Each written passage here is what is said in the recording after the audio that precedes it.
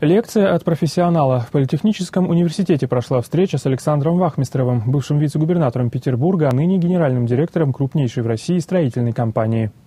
Эффективное строительство, эффективная экономика. Так назвал свою лекцию Александр Вахмистров. В 2013 году в России было построено более 70 миллионов квадратных метров жилья, из них более 2 миллионов в Петербурге. Однако, по мнению лектора, до европейских показателей стране еще далеко. Чтобы приблизиться к зарубежным стандартам по увеличению жилой площади на человека, необходимо возвести столько же зданий, сколько уже существует на территории всей необъятной родины. А вот кто будет покупать такие квартиры? С таким вопросом к оратору обратились сразу несколько студентов.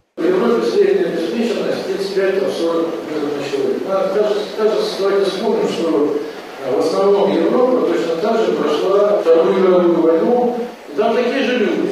И все это как-то решило. И наивно думать, что Александр Вахмистров – строитель опытный. В 2003-м он пришел в правительство Петербурга, где на посту вице-губернатора 6 лет курировал эту сферу. По некоторым отзывам успешно. Неудивительно, что Совет директоров одной из крупнейших строительных компаний России выбрал его генеральным руководителем. В политехе пообещали, что такие встречи с профессионалами своего дела не прекратятся и будут проходить на постоянной основе.